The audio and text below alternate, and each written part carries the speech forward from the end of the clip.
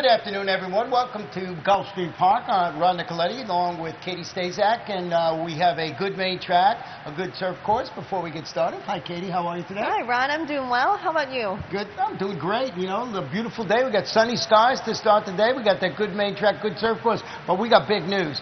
In our 11 race card today, in the uh, race six, we have a one $100,000 guarantee in the jackpot today, starting in race number six. So they've been close to hitting this and hitting this over the last couple of weeks.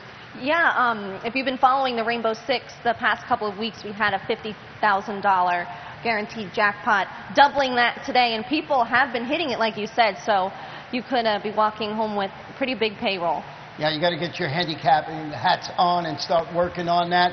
And you know, we had a fantastic weekend here last weekend, and last Saturday we had five stakes races. And uh, you know, Katie and I decided, oh, well, actually, Katie did. She said, let's pick the two races we like the best of those five stakes races. So uh, my choice was uh, the Bob Umphrey Turf Sprint, the a filly against the boys in there, and that was Madame Geary, and she really ran a good race. We're gonna go back and take a look at that race and she was just powering through. This is the first time she was wearing blinkers, and we spoke to the uh, trainer, uh, Cam Gambolati, said she wasn't really paying attention. Boy, the blinkers seemed to work today. She just drew off and was very impressive, and uh, you see her up there. She was uh, two to one, and that was a pretty square price, but she did have to beat the boys.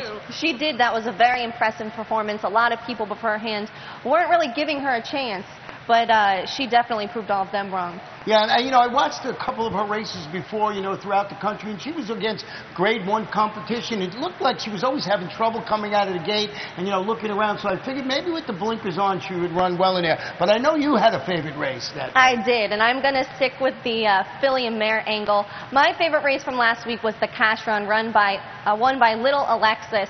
Uh, let's take a look at that race from last week little Alexis, I watching this race, I was so excited seeing her come home. This was her just her second start, first time in a stakes, and first time out in five months. She debuted very impressively, beating a filly, uh, My Miss Sophia. But to come back and beat these fillies after such a layoff, Beautiful ride from Edgar Prado. He saved rail along the inside, angled her out, split rivals. I loved that win, and I'm very excited about what she's going to do going forward. Trainer Carlo Vaccarezza said to me, it's just a matter of time before this filly is a graded stakes winner. Not, not if, but when. Yeah, you always uh, don't know how they're going to handle that big jump up in competition.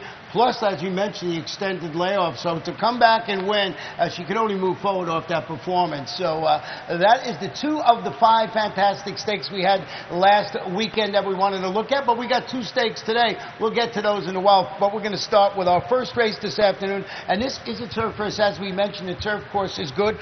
One mile and one sixteenth. These are maiden claimers, fillies and mares, three-year-olds and up, scratch to 10, 11, and number 12. I went with the number 9, Senorita Sangria, and I see that you're in the thinking the same. I, I really like Senorita Sangria, and who doesn't love a sangria on a nice sunny day in the summer? Um, this filly's coming off a pair of in-the-money finishes at this mile and a 16th distance, and I was really, really impressed by her last race. She rallied from more than 15 lengths off the pace that day, circled the field four wide, and only lost by a length and a quarter. Um, filly named Bachata Dancer got the jump on her that day. I think if she wasn't so far back, that outcome would have been different. So I think she just had too much ground to make up, and if she lays a little bit closer today, I see her being the best filly in the race. Yeah.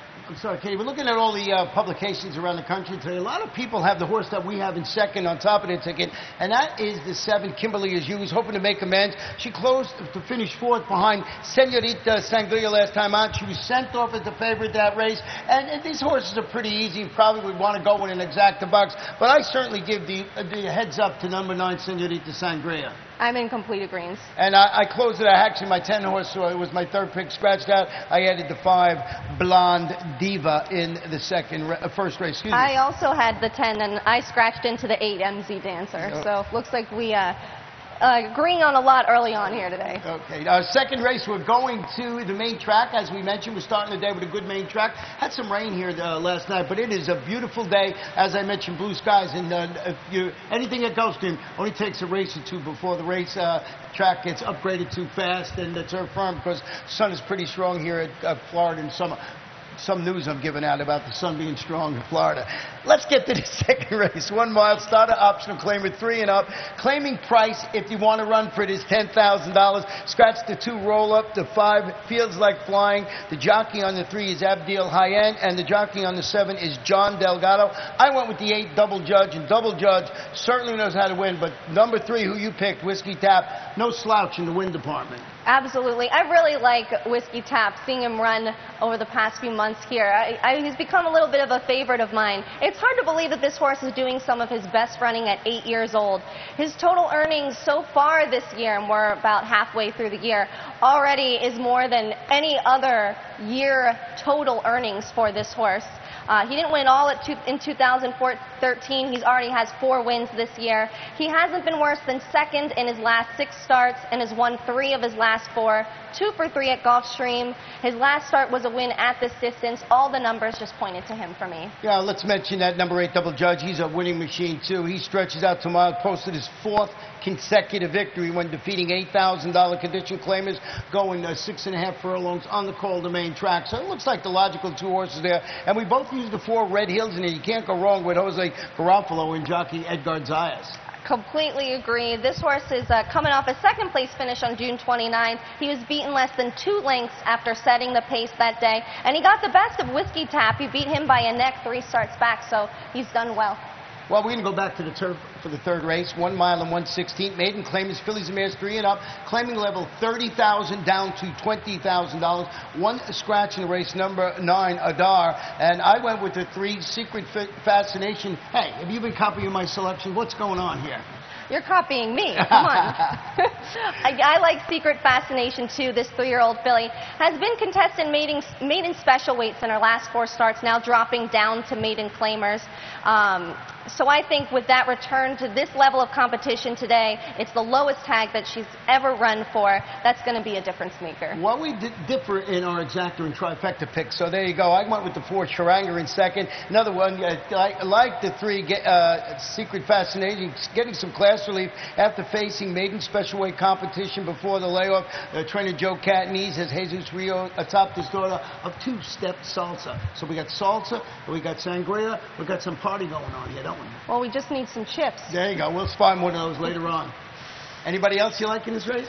I like to have and to hold. This is a three-year-old filly bred by Ken and Sarah Ramsey, so that certainly says a lot. She's making just her third career start. She tried grass for the first time last time out. She made a mild rally, didn't have the greatest finish, but I'm going to give her another chance today. Well, this fourth race this afternoon is a six furlong sprint on the main track. It's maiden three-year-olds and up. We have one scratch of the three easement. We have a jockey change on the number eight. Jesus Rios uh, will ride the number eight, and there's been some scuttlebutt about a horse that's running in this race from the Marty Wolfson Bard, and that's the number five, Atreides, I think it's pronounced. We looked it up, and Atreides? Atreides. Atreides. I'm so. really excited about this colt. He was supposed to run a couple weeks ago, and Marty Wolfson's been waiting for the right, find the right spot for this horse, so he's going to start today. And uh, this is a half brother to Dreaming of Julia. I remember being here watching Dream. Um, Dreaming of Julia in the Gulfstream Park Oaks. She won by 21 and three quarter lengths. It was one of the most breathtaking performances I had ever seen. And uh, I think if he runs anything close to that from his sister, he'll be just fine today. Yeah, I know he was supposed to run, I believe it was last week or, maybe a week and a half ago, and uh, everybody was talking about him, so finally gets to run today. Horse I put in the second spot was the two.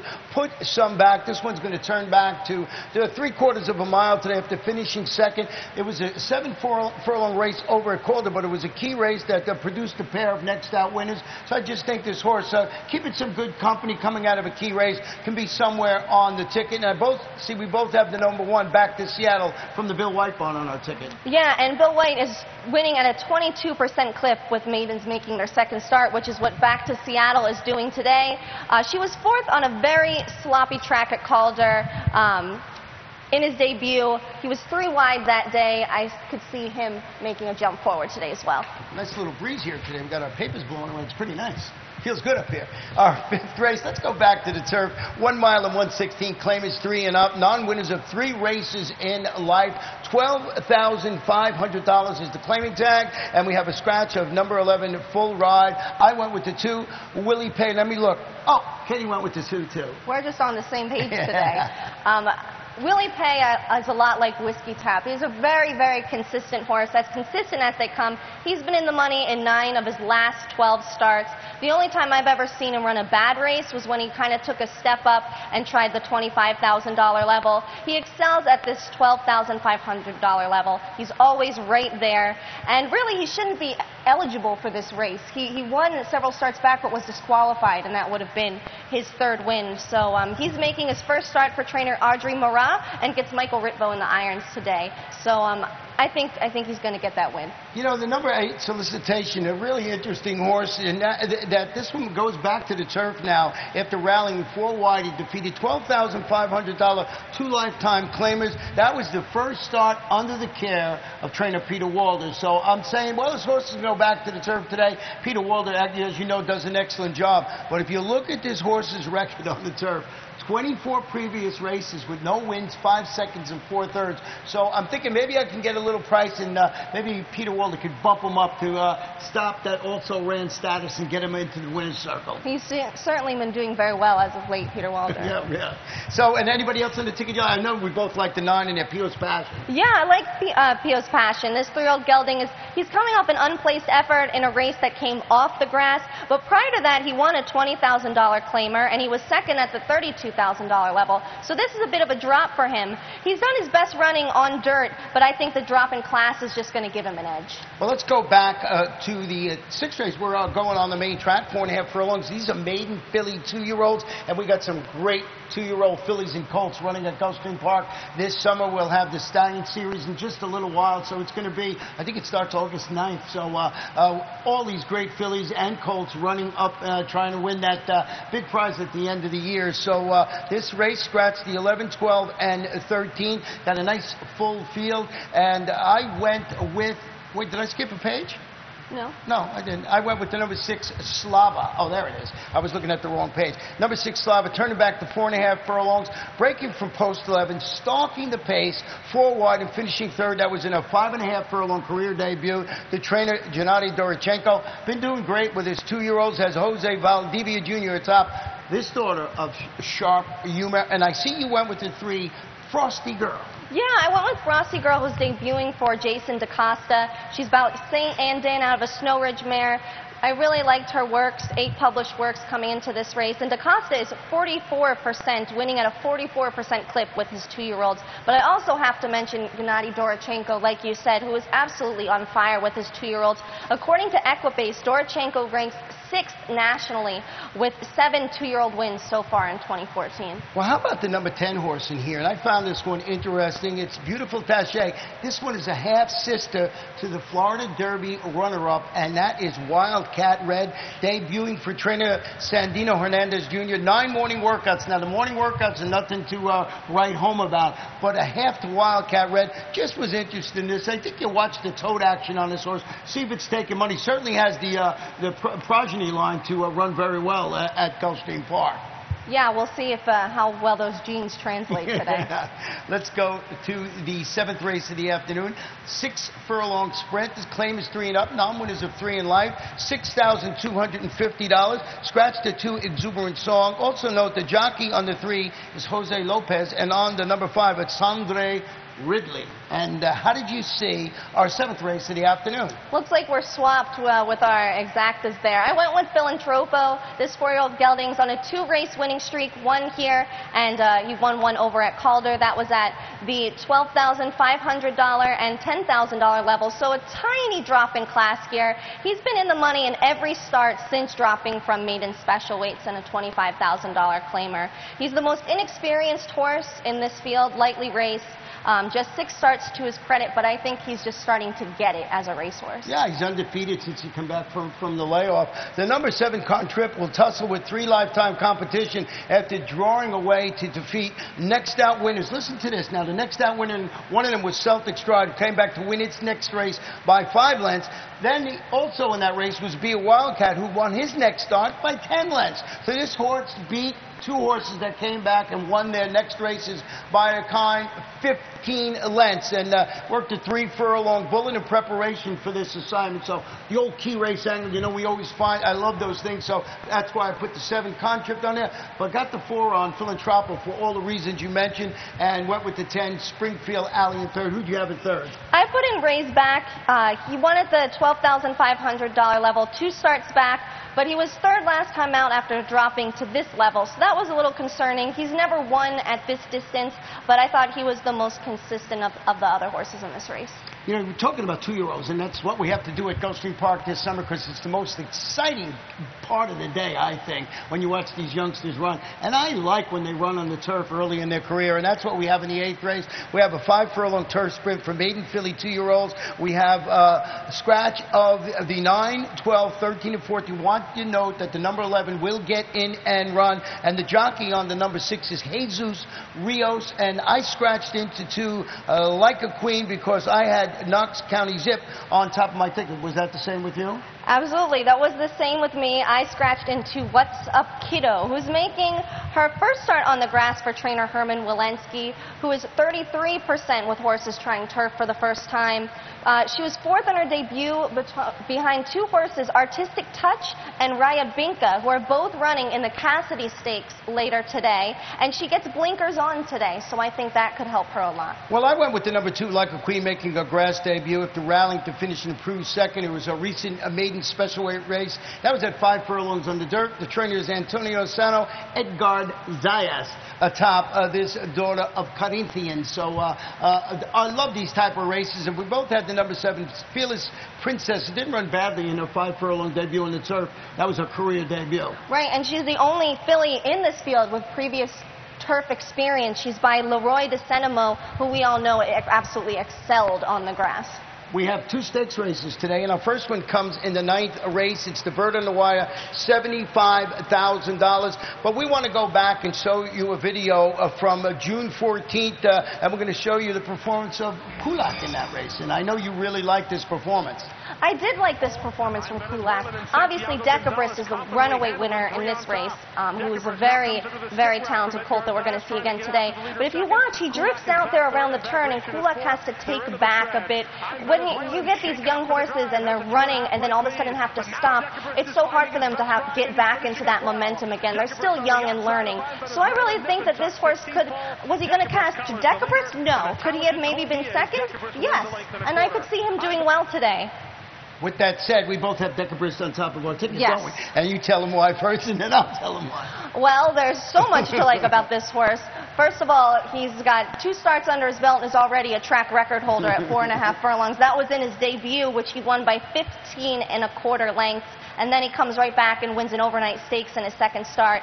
Uh, Mr. Dorochenko told me that this is the best horse that he's ever had, and that says a lot. Absolutely, and you mentioned his stats before that he's got seven two-year-old wins already, and uh, two of those are from this horse right here.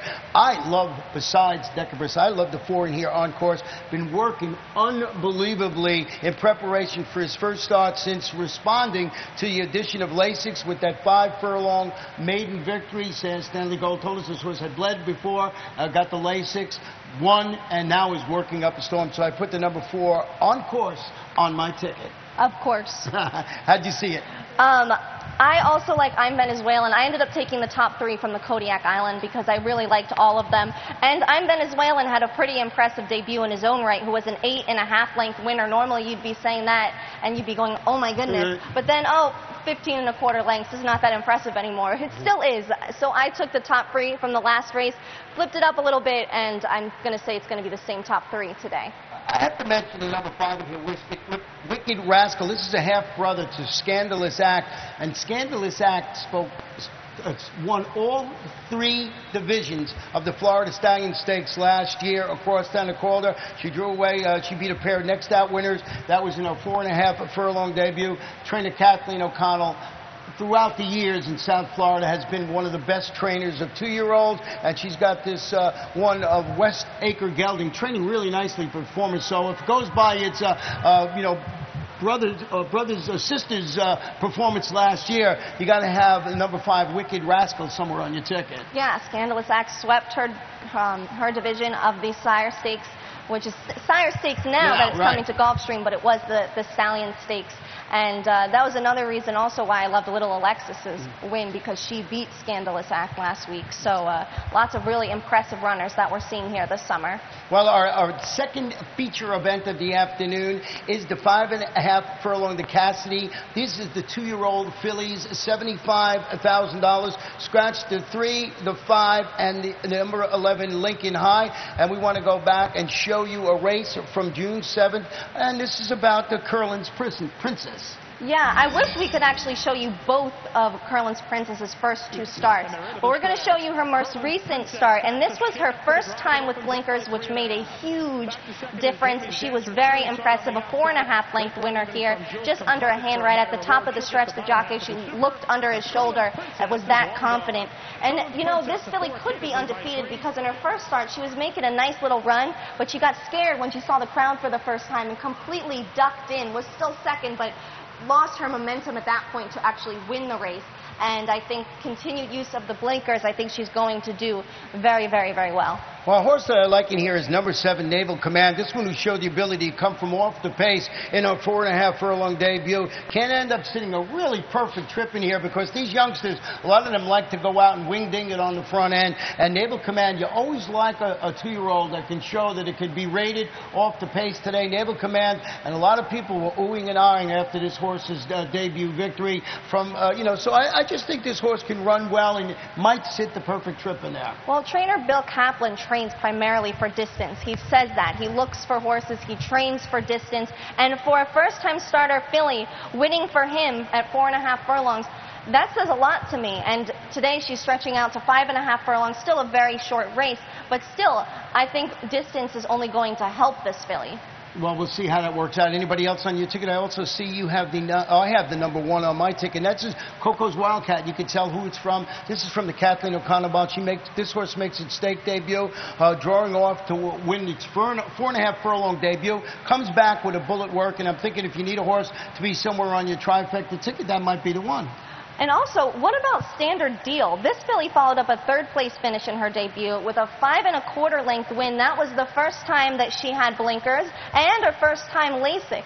So that was a really big improvement. She ran those five furlongs faster than Decabris ran the first five furlongs of the Kodiak Island that day. That's a good angle right there. So got the number six on your ticket. I'm going to have to go back and look at that one. We're going to end the day on Saturday, our 11th race, on the main track. One mile claimers, three-year-olds and up. The claiming price is $6,250. We have a jockey change on number two. Make the rider Ramsey Zimmerman. And I went with the number 14, Leverage Row, but I want to preface it by saying it's awful tough to win from post 14. You went with the number 10 horse in here, and tell us why. I went with Sailing Clear. This five-year-old gelding has been in the money in each of his last five starts. He's very, very consistent at this level.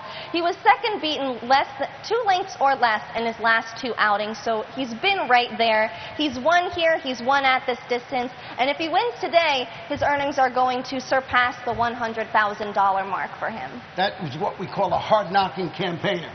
And uh, let's talk about that 14 leveraged road. We'll try and make it through the row for trainer Kirk Ziadie. But as I mentioned, the big obstacle is demanding outside post. But uh, trainer Kirk Ziadie, he's got Edgar Zayas, and when they're together, they're pretty unstoppable. So like, if they can deal with that outside post, uh, the 14, I also used the number two, which you did, Holy Smoke, and the horse that we mentioned last week, and you told me what it meant, and that was the 12, Fear the Beard.